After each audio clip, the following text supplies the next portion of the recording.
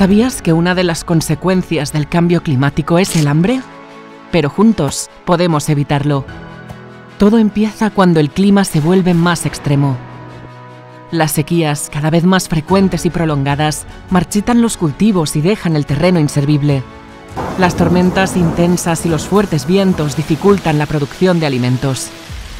Las inundaciones, que llegan de forma repentina, anegan los campos y destruyen todo a su paso. Cuando estos fenómenos golpean poblaciones ya vulnerables, el resultado es devastador. Millones de personas pasan hambre. Y lo que es aún más cruel, los países que sufren las peores consecuencias del cambio climático son los que menos contribuyen a que éste se produzca.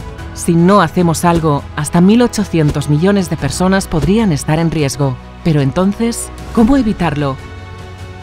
En Acción contra el Hambre trabajamos junto con agricultores, ganaderos y comunidades de países vulnerables para garantizar la producción y el acceso a alimentos.